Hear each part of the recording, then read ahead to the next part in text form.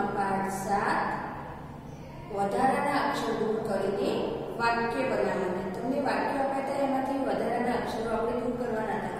જેમ કે આ આ આ મારું, આ ઘર, આ છે. તેમાં વધારાનો અક્ષર હતો આ. તો આ કાઢીને આપણે વાક્ય બનાવ્યું. આ મારું ઘર છે.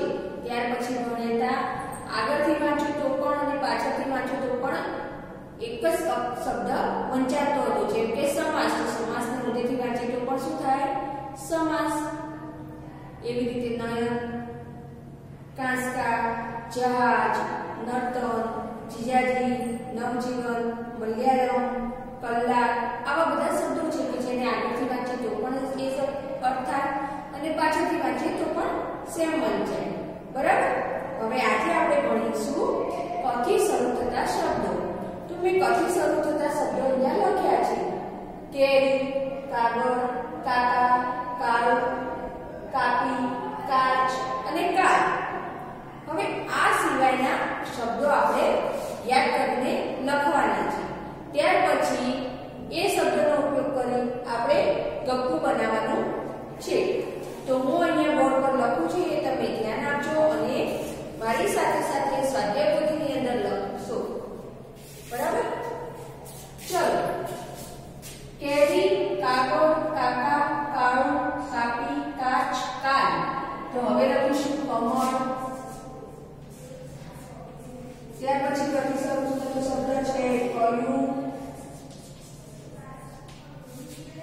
કાકડી કારેલું ને કડવું બરાબર હવે આ શબ્દનો ઉપયોગ કરી આપણે બનાવવાના છે વાક્યો જેમ કે કાકાએ કેરી કાપી ત્યાર પછી બીજું વાક્ય બનાવ્યું કાકાએ કાગળથી કેરી કાપી ત્યાર પછી ત્રીજું વાક્ય છે કાકાએ કાગળથી કાચની કેરી કાપી હવે એવી જ રીતે આપણે જે શબ્દો લખ્યા છે, પાંચ, કમળ કયું કાકડી કાલી કરવું તો એમાંથી આપણે બીજા બે ગપ્પુ બનાવવાના છે. હવે કાગળની કેરી હોય કાગળથી કેરી કપાય કાચની કેરી હોય, ના હોય ને? તો હવે આપણે એવા જ બીજા બે ગપ્પુ બનાવવાના છે. Carl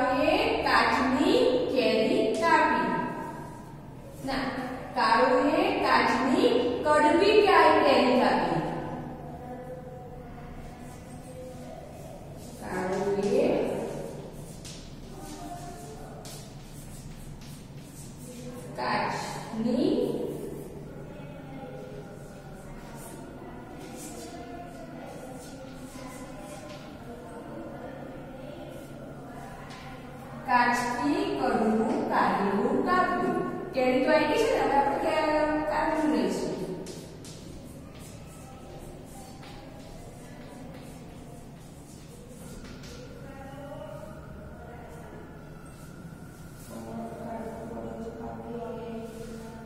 જો ધ્યાન આપો અહીંયા કાકડીની જગ્યાએ આપણે લઈશું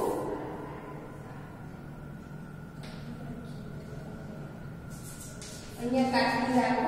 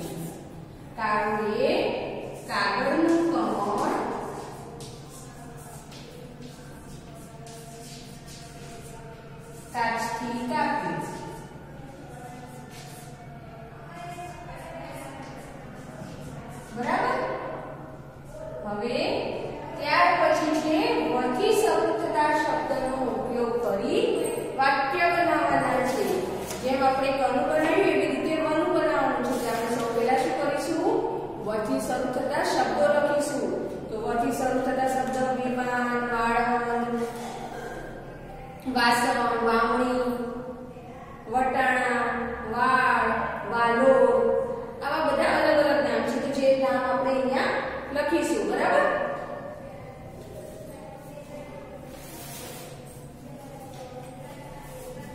પહેલો શબ્દ લખીશું, વાસણ. વાસણ વર્થી શરૂ થાય છે. પછી ત્યાર પછી વિમાન. ત્યાર પછી વાળંદ Valorize.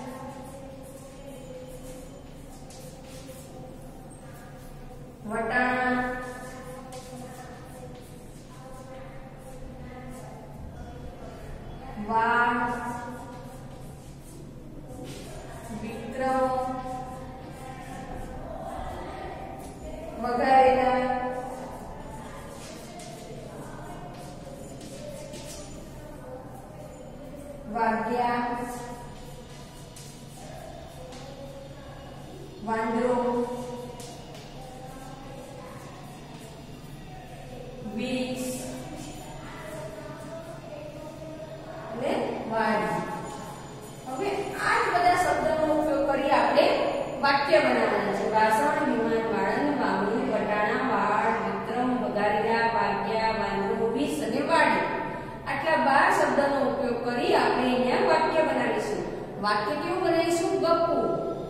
તો વથી શરૂ શબ્દનો ઉપયોગ કરી ગપ્પુ બનાવો. તો પહેલું વાક્ય બનાવીશું. વાંદરાએ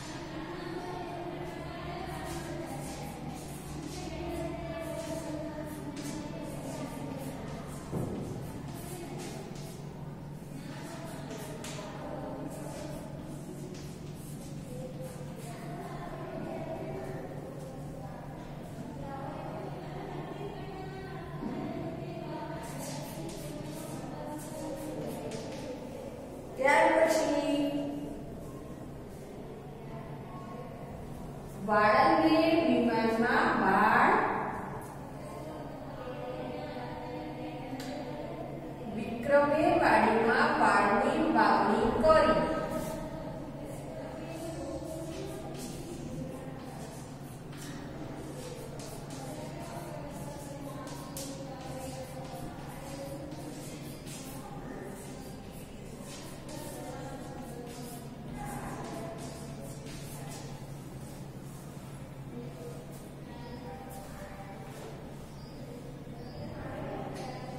બધું માસ આપે ને